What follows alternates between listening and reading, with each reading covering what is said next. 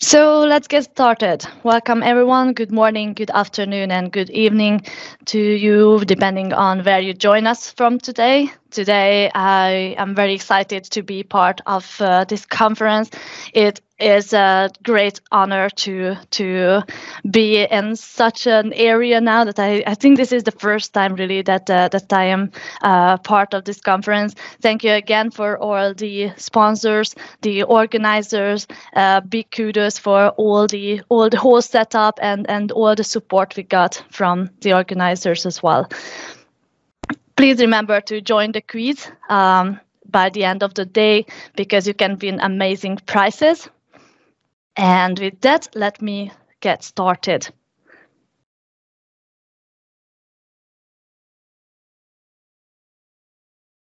So, in the last few years, artificial intelligence has become more and more prevalent and powerful. Many speeches around AI nowadays explain how these technologies can be benefited to predict stock prices and create value for an organization. And in fact, even the online courses that are meant to educate newcomers in the field are focusing on the financial benefits of AI. And in today's materialistic world, I would like to focus on how the very same technologies can be benefited to predict natural disasters and eventually increase survival rates and improve quality of life. I am Eve Pardi, Senior Analyst at Avanade. And at Avanade, we tailor the right mix of expertise, knowledge, and agile delivery to support the client's individual digital transformation journey. And we always deliver engaging and easy to use uh, solutions fast, and we use scalable technologies powered by Microsoft. So if you would like to join our Orange family, please don't hesitate to contact me. I have been an AI MVP for more than a year now, and since that, I am involved in different community activities. For example, I am a board member of the Global AI Community and co owner of AI42. Both are aiming to share knowledge in the field of AI with the community. But AI42 aims to provide valuable series of lectures that will help people to jumpstart their career in the fields of data science and artificial intelligence. And in the following weeks, we are going to have great speakers who bring you rich content about data science, machine learning, deep learning, including tools such as Power BI, Databricks, and a lot more. So if you want to be updated about our next sessions and news, follow us on Instagram, Facebook, and Twitter. You can scan our QR code to get to our YouTube page where you can watch our previous lectures. And at our meetup page, you can find information about our upcoming sessions. I additionally write articles and speak about my investigations and projects at conferences or other community events too. For example, the session I hold today will, should be available on my uh, blog later in the weekend. So my aim is to save lives and support humanity with AI and data. It is also important to make people safe while using intelligent applications and make developers understand how they should control their solutions and hence gain their clients' trust. So I would be very happy to answer all your questions after the session. And if you stuck somewhere while trying out the tools I showed today, feel free to reach out to me. You can find me on LinkedIn, Twitter, and Facebook too, but you might as well write me an email. The disasters caused by natural phenomena have been present all along human history. Nevertheless, their consequences are greater each time.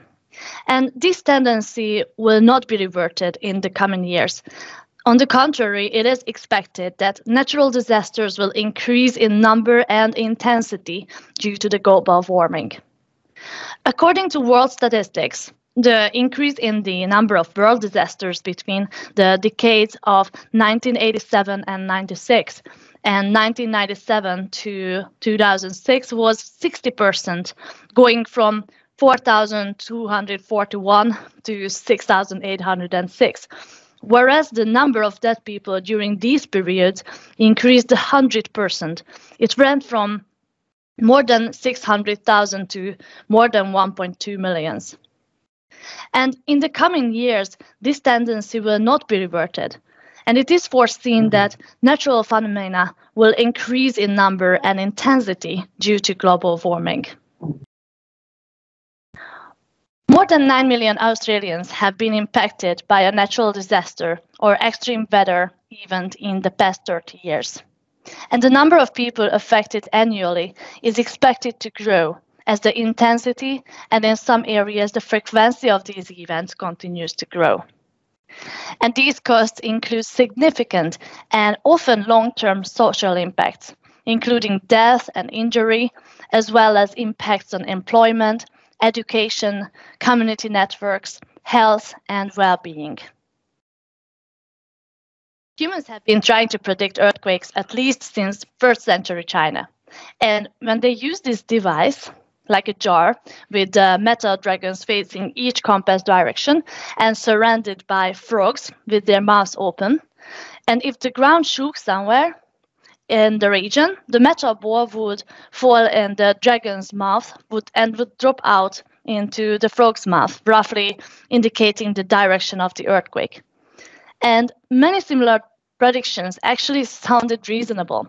But after some research, those things were concluded to be natural phenomena with little to no correlation to earthquakes.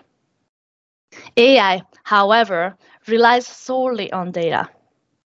And multiple researchers are creating their own applications to predict earthquakes and aftershocks. Moreover, these systems also monitor aging infrastructure. So AI can detect deformations in structures, which can be used to reduce the damage caused by um, collapsing buildings and bridges or subsiding roads.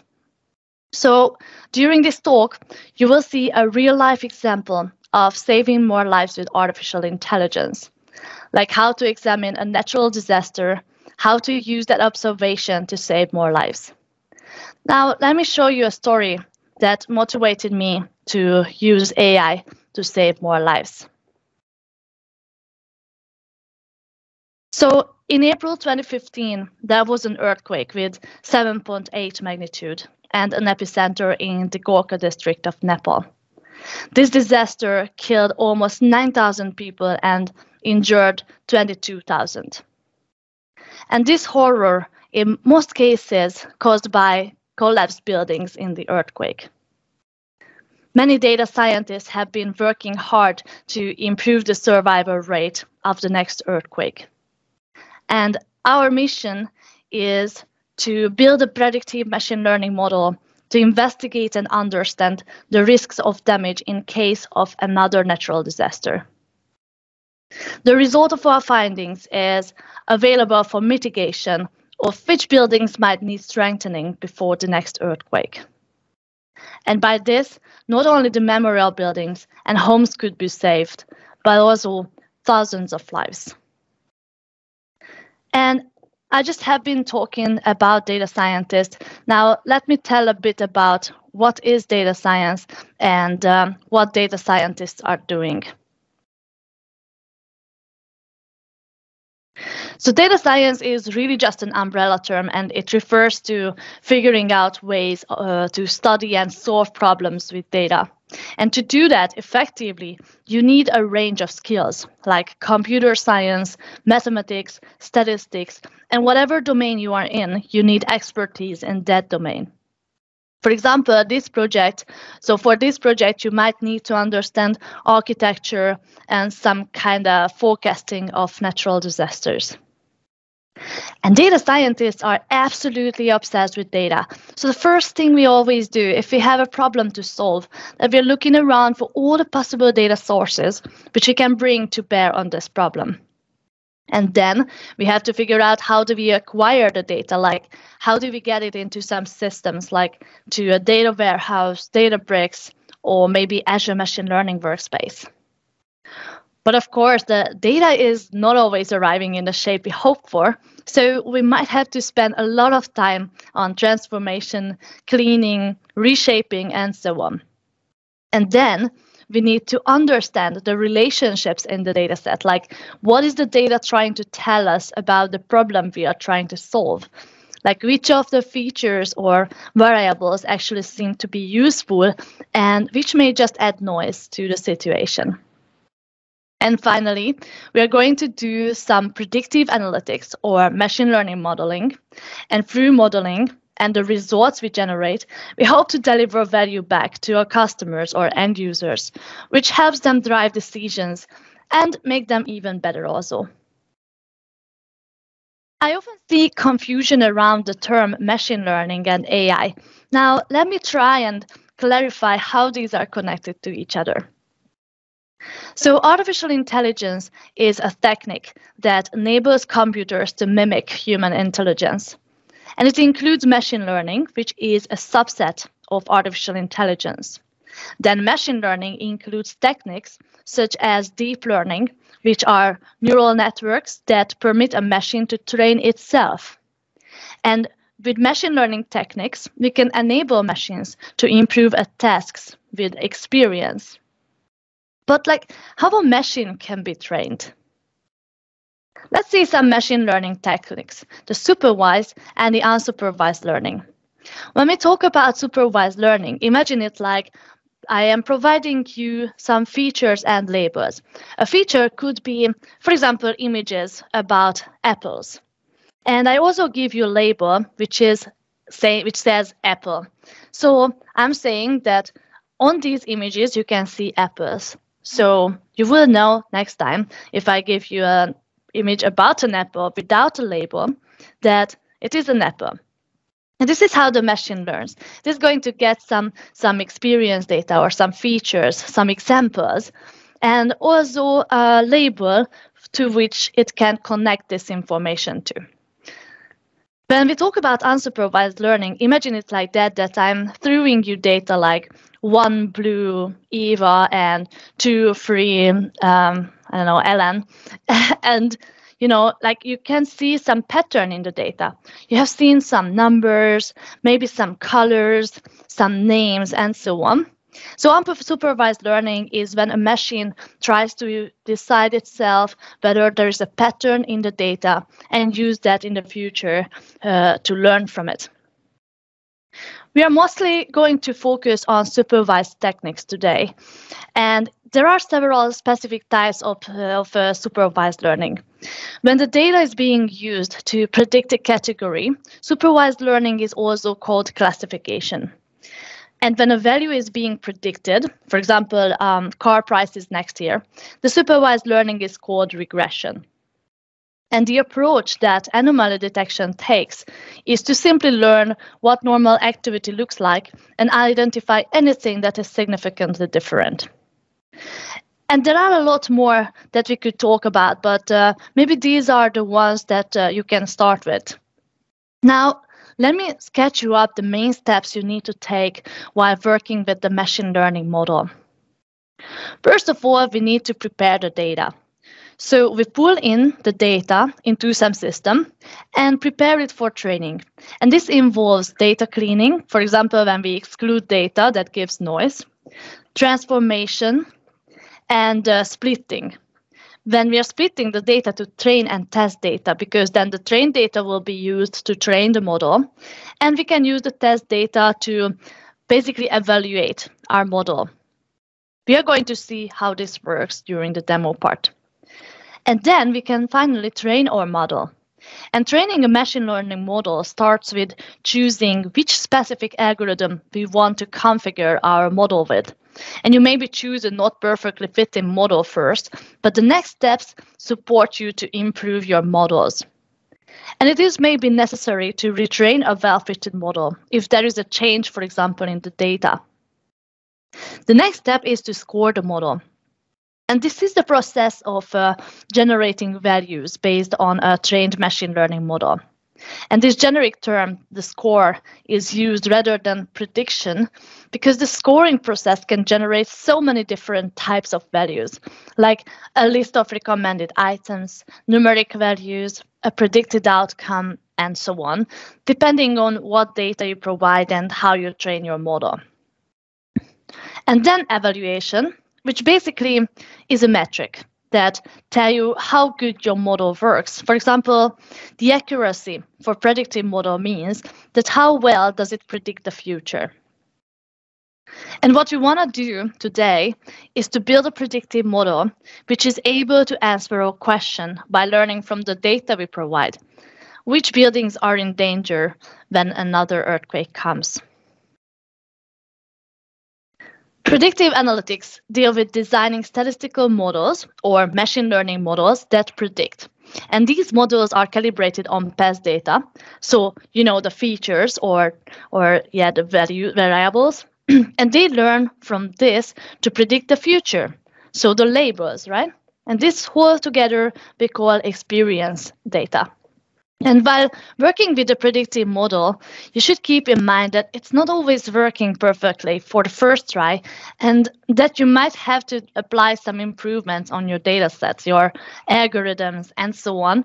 But the best result is the aim, which is why machine learning itself is also an always improving field. Teaching a machine might sound like some kind of black magic, but thanks to the tools provided by Azure, you have the chance to easily get started with machine learning and learn about the different training algorithms and then understand what the result tells you with the use of Azure machine learning. So, what is Azure machine learning? This web experience called the Azure Machine Learning Workspace brings together data science capabilities and machine learning assets into a single web pane that streamlines machine learning workflows. And there is this enterprise edition, which caters to data scientists across diverse skill levels from no code authoring to code first experiences. You can access machine learning for all skills to boost productivity. You can rapidly build and deploy machine learning models using tools that meet your needs regardless of the skill level. You can use the no-code designer to get started with machine learning, or you can use the built-in Jupyter notebooks for a code-first experience. And you can also accelerate model creation with the automated machine learning. And you can access built-in feature engineering, algorithm selection, and a lot more features to develop high accuracy models. Together with Azure Machine Learning, you can set up operationalizing at scale with the robust MLOps. MLOps, or DevOps for machine learning, streamlines the machine learning lifecycle from building models to deployment and management. You can use machine learning pipelines to build repeatable workflows, and you can use a rich model registry to track your assets. And you can also manage production workflows at scale using advanced alerts and automation capabilities. You can take advantage of built-in support for popular open source tools and frameworks for model training and inferencing. You can use familiar frameworks like PyTorch, TensorFlow, scikit-learn, and a lot more. You can also choose the development tools that best meet your needs, including popular IDEs, Jupyter notebooks, CLIs, or languages like Python and R. And last but not least, you can build responsible AI solutions on a secure, trusted platform and access state-of-the-art technology for fairness and model transparency. You can use model interpretability for explanations about predictions to better understand model behavior. And you can reduce model bias by applying common fairness metrics that's automatically making comparisons and using recommended mitigations. And the enterprise gate security with role-based access control and virtual network support would protect your assets. You can set up audit trail, quota and cost management, and uh, you can, you know, advance your governance and control we will talk a lot about these in the in the session. So this is the top level resource for Azure Machine Learning, providing a centralized place to work with all the artifacts you create when you use Azure Machine Learning. So the workspace keeps a history of all training runs, including logs, metrics, output, and a snapshot of your scripts.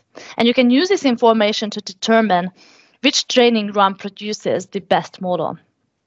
And you can deploy your models to Azure Container Instances, Azure Kubernetes Service, to FPGA, and also to an Azure IoT Edge device as a module.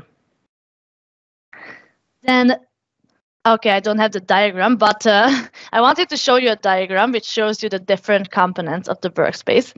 But the most important one is when you create the workspace, you also get associated resources that are also created for you.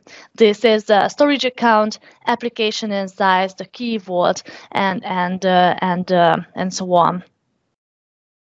So I am going to show you around uh, all the all the uh, components of this designer now with the use of our story about the Nepal earthquakes. And I'm going to start with the machine learning notebooks, which is a fully managed cloud-based solution for data scientists to get started with machine learning and deeply integrated with Azure Machine Learning workspaces and data stores. And it provides first class experience for model authoring through integrated notebooks into um, Azure Machine Learning, Python, and R SDK. So with notebooks, we can leverage management and enterprise readiness capabilities for IT administrators. And it makes your work more productive. You can build and deploy models easily using integrated notebooks and uh, these popular tools. And it enables you to collaboratively debug models and share notebooks within the boundaries of the workspace. And notebooks are managed and secure. Managed virtual machine form factor ensures compliance with enterprise security requirements.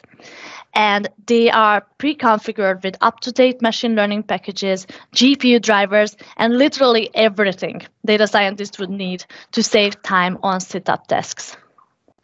Notebooks are also fully customizable. It provides broad support for Azure VM types and persisted low-level customization. So I'm going to demonstrate how to use notebooks with a real life scenario. So uh, the Central Bureau of Statistics uh, co collected a large data set which uh, contains valuable information about numerous properties like area, age, demographic statistics, and a lot more about buildings that have collapsed in an earthquake in Nepal. So what we want to do is to build a predictive model which is able to answer our question by learning from the data we provide. So which buildings are in danger when another earthquake comes. And to see how the notebooks works, uh, we are going to start by understanding the data. So the aim is to see which values are useful features for us and which are the ones we could leave out because just give noise to the observation. And uh, just a quick disclaimer, I'm going to show only examples, not the entire research I did on this problem. So let me start by creating a machine learning environment. So if you have an Azure subscription, you can just go ahead and say create a new resource. And we start looking for machine learning. And we say click create and I choose a working uh, subscription, like why not? And then we need to create a resource group. So a resource group is really useful because um, uh, you can just easily create one by, by uh, adding a name here, or you can use an existing one. And inside the resource group, you would put resources that would communicate to each other often. And it's also useful to, to easier manage these resources as, as, a, as a group, right? and you can or if you if you delete the resource group all the resources are deleted with it so it is it is a good idea to put for example um, when you when you like uh, put together a service put them in the same resource resource group so they can be managed together. And as I said, together with the machine learning workspace, some uh, additional um, tools are added for you. So the storage account, so if you give it a name, something, you put in a region, and then a storage account, a key vault, and apps insights are also generated for you. And you can create a container registry. You can create here or you can use an existing if there is any, or we can just create a new one.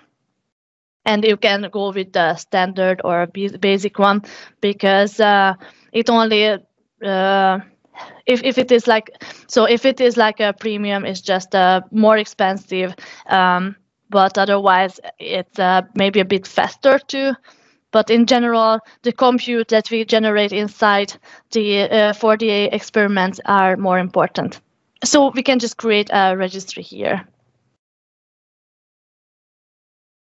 I know it won't like it. I don't know, like something, something. So the point is that you just give, give it a name and then click save. And then um, we can just click uh, review and create, and then your workspace is generated. And when the deployment was successful, you can go to your uh, overview of the machine learning workspace and click Launch Studio. And when you do that, you should see the following uh, overview. So I also wanted to quickly show you the left panel here. You can see uh, the free tools that you can also see over there. We, we see our assets like the data sets, experiments, pipelines, models, and endpoints. Endpoints, this is where our models gonna get when, uh, when it is deployed. So this is where you can reach them from. And we can manage our compute, our environments, the data source, and so on. So I would like to start with notebooks. And before I continue from here, I would love to get some uh, feedback from you, whether you have used Jupyter notebooks before. You can put it in the chat if you have experience with the Jupyter notebooks. I'm asking this because if you take a look at this overview, for those who have been working uh, with this tool, you can see that a very similar folder structure is available for you. You can just pull in your data that you want to play with, and you have this um, uh, cells uh, where you put in your code and you can run it uh, cell by cell. And to run the code here, you need to create a new compute or start the one that you have here. And uh, remember to stop it because otherwise uh, it can be quite costly. I, I learned it on my own mistake. so if you want to create a new compute, you just click plus, give it a name, Um, yes, and you can choose between CPU or GPU, and there is always one that is recommended for you, but you can select from all the different machines that uh, that is available in here, and you just click create. But now we have a compute, and and I don't need to restart it now, since our code, just like in Jupyter notebooks, um, and the results are also saved with the notebook in the cloud which is really cool. And again, everything like mostly all the packages are integrated for you, so you can just go ahead and like use pandas package for create a data frame from the data set, which is here as a CSV files. And, uh, and then we can display in line. And you can see there are many, many columns like about each buildings, like the number of floors, the age, area, height, and so on. And these columns will be used as features for training the predictive models. And just for fun, because I like playing, I would like you to remember these, uh, this information specifically. we have like 39 columns and a lot of rows. So when we have a set of observation, it is useful to summarize features of our data into a single statement called descriptive statistics. And instead of scrolling through and try to understand just by looking at this data, you can just go ahead and use some nice Python function, functions. And the one that I'm talking about now is the describe function. And what we can see here in the first row um, is that how many not null values there are in each of the columns because Python's describe function counts only the not empty fields.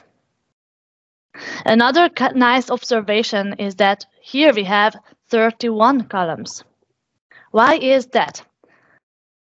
So we have lost eight columns from our data set. So where is that?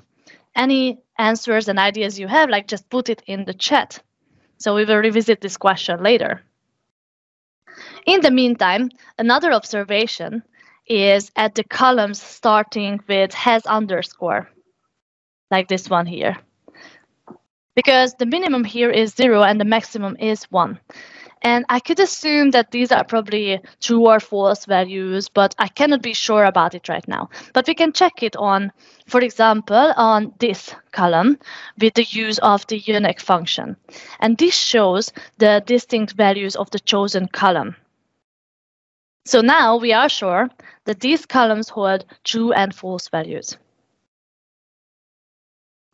Another observation we can make here, for example, in the age column, where the minimum is zero, the mean is like 26.5, but it can go up to 995.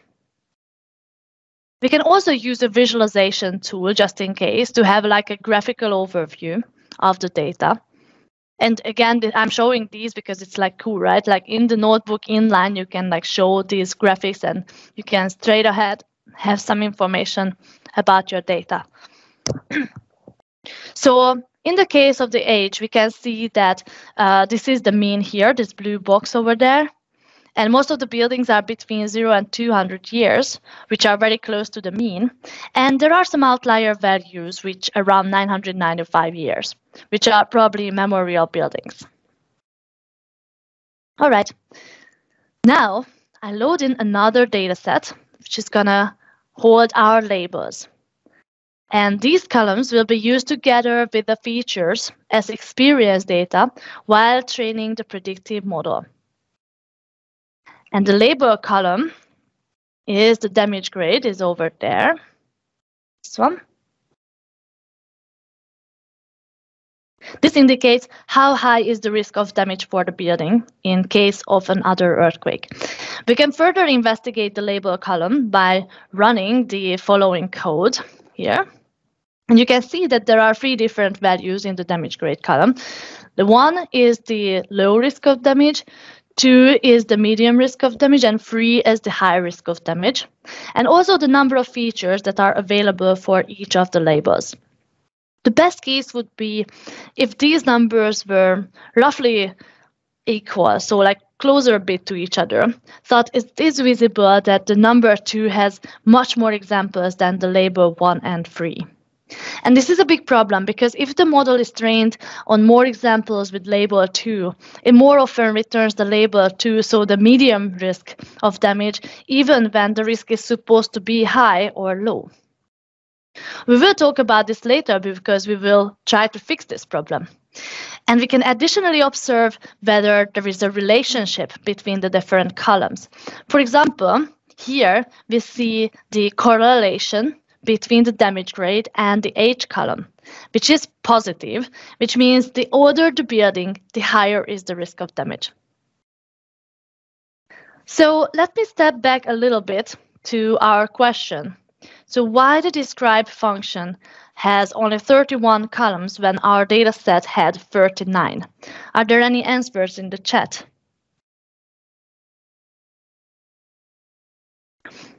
Because if not, no, then I'm just we don't know. Then, then uh, it's it's because the describe function only shows the numerical columns.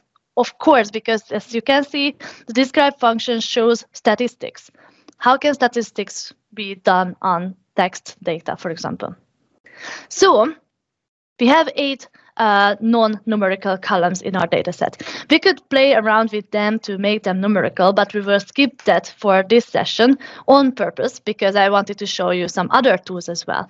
Because I've shown you these statistics because we are going to solve all these issues in the future steps. For example, the outlier values in the age columns, the non-numerical columns, and the unbalanced data as well. So our machine learning models can work with quality data. And this is all nothing. You can even write your own machine learning models and data science tasks right here in the notebooks. So instead of building data wrangling actions and predictive machine learning models from scratch, let me show you the next tool in the machine learning workspace. The Machine Learning Designer. Data scientists can use a rich set of built-in algorithms, feature engineering, and module evaluation to quickly build machine learning models or prototypes. And machine learning experts can visually craft their complex machine learning uh, pipelines with their own code. And machine learning engineers can construct the operations pipeline in the similar drag and drop approach. You can use built-in modules like data visualization, model evaluation, and you can automatically generate your scoring files, register models, and build images using Kubernetes service for scale. You can also add custom code to run Python and R within the experiment. So it brings you the drag and drop workflow capability to simplify the process of building and testing and operating machine learning models. So I'm going to show you how this drag and drop functionality works. So let's hop over back to my demo over the main page and I start up the designer now. You see, you can create a new uh, pipeline yourself, or you can use some pre-built samples as well, uh, which uh, which uh, allows you to try out some of the solutions. I have created one for you, and for those who have been working with the Azure Machine Learning Studio before, the Classic Studio might be familiar for you. Uh, and if you have worked with it, please like give me just a feedback in a chat. It would it would be nice to get some answers from you, whether you have like experience with this. But this environment is really similar, and a lot of lot of new stuff is added, like pre-trained models for recommendations or for computer vision, text analytics, anomaly detection, and so on and so on. And it's really cool. So I pulled in a data set that holds already all the information that uh, we have seen in the previous part of the demo. I'm just going to close this so you can see a bit more over here.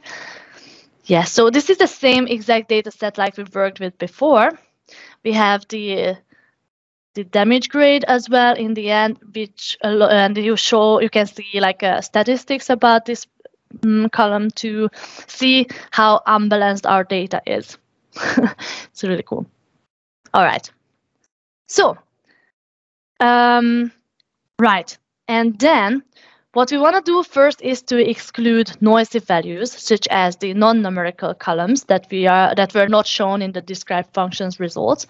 What we can do is to use the select columns in dataset, and um, you just why doesn't oh come on yes and and what you can do is just define which columns to include or exclude i just show you quickly that you can basically make changes in here and you can say that uh, you either include or you can add the new rule and you can just exclude the columns by column name or, or whatever you want to do really. It's pretty cool. All right. And another step of data pre uh, preparation is called normalization to exclude outlier values like we have seen, for example, at the age column. But the goal of normalization also to change the values of uh, numeric columns in the dataset to use a common scale without distorting differences or losing information. And this is useful since most of the columns have different metrics with different scale. And now all the columns will be on the same range. I quickly show this to you because it's really ugly, but it's going to be really useful for our machine. Yes, it's, it's really ugly.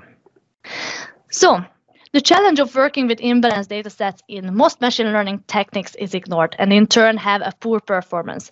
Although if you think about it, um, typically the performance on the minority class is also very important.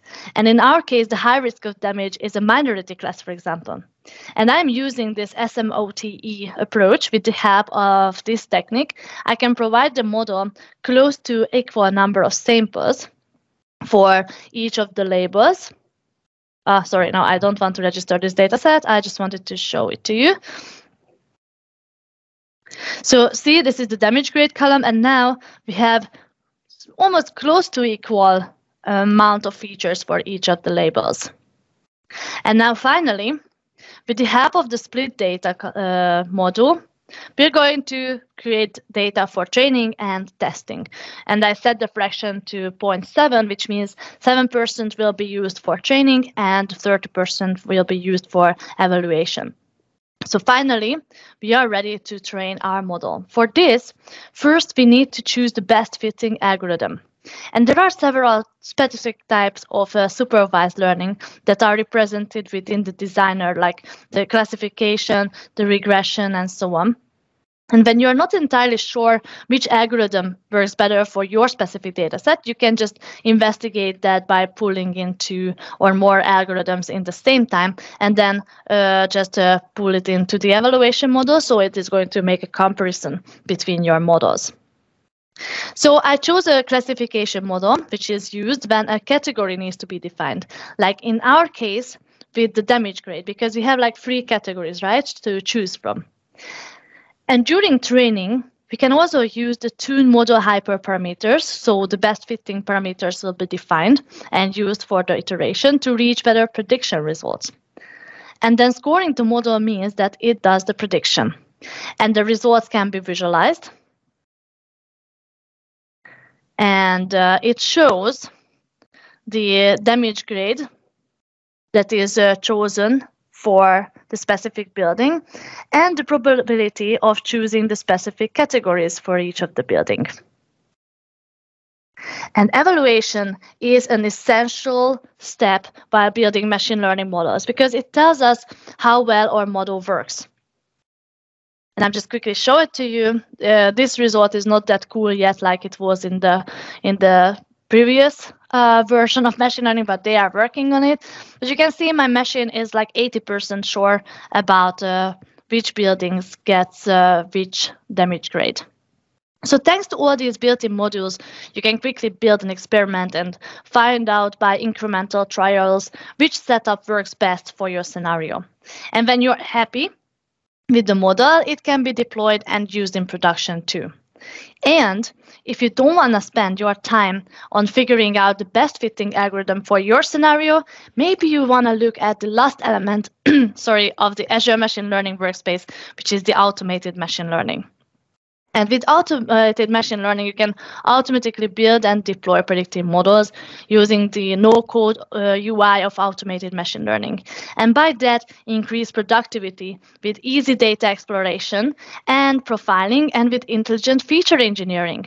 You can easily create accurate models customized to your data and refined by a wide array, wide array of algorithms and hyperparameters. And you can responsibly build AI solutions with AutoML. Let me show you quickly around how this works. because as I mentioned before, it is a really easy to use UI. You basically come to the automated machine learning, click on new automated machine learning, choose a data set that we want to work with. You can even, yes, take a review on that. And then in the next step, we need to uh, either select um, an existing experiment or you can create a new one, or target column or label column is damage grade. And we also choose a compute cluster where this is going to run. And then we choose classification. We can enable deep learning for better results. And when you click the finish button, the run starts up. And after initializing uh, the run, we can also review all the models that has been tried. And the one on the top would be with the best accuracy. And we can also see an explanation about this. We can take a look at uh, some information like uh, what are the important features. So, you know, you get a really good overview of how your model works. What are the important features that that uh, that your model uses? And um, additionally, there was one more thing I wanted to quickly show you. If we go back to to here and take a look at the overview. And if there, you, this is the overview and the best algorithm was this one. But you can also take a look at this runs data guardrails. And it also talks about the unbalanced data that I mentioned to you before. So what I wanted to do is that provided some uh, balanced data and then run this again. So what I did in the experiment that we were playing with before, after preparing the SMOTE data, the results, I saved it to uh, CSV. But what you can also do is basically register this data set. And when a registered data set comes over here, then you can use it all around in the workspace. So I went back to automated machine learning and made a balanced run. And then I went to the data guardrails, for example, and now it says that it is quite balanced. Now we can work with this, which is pretty cool, right? All right. So with that, we are nearing the end of the session today. However, while this is the end of the session, it does not have to be the end of your journey with Azure AI. I'm just going to uh, go to uh, the place what I wanted to show you quickly. Um, yes, maybe this one here. I'm just going to move there. So if you want to learn more about responsible AI, we have like touched a few uh, aspects of this. You can go ahead and try out the responsible AI widgets, where you can try out how interpretability works, how you can do error analysis, and how you can make fair mm, models, like we did with the balanced data set. So also, some resources for you to go ahead and, and continue your journey with Azure AI. So on the first link, you can learn some techniques like planning and creating a suitable working environment for data science workloads on Azure. You can run data experiments and train predictive models. And in addition, you can manage, optimize, and deploy machine learning models into production. And on the second one, you find all the Azure machine learning related concepts that you would apply while working on data science and machine learning pipelines. And you can find all the steps I've shown you today, like creating a new workspace, how to use the notebooks, the designer, the automated machine learning. And additionally, you will find a very well detailed documentation for some other cool tools like responsible machine learning, more about MLOps, deep learning, and a lot more. And with that, I want to say a big thank you for your attention. Um, and don't forget to join the quiz to win more prizes. And I hope we will meet you at the next sessions as well. And uh, I also want to say a big, big, big thank you. It was a great honor to be one of the speakers of this amazing conference. And if you want to reach out and you have more questions, please don't forget to reach out to me. Thank you.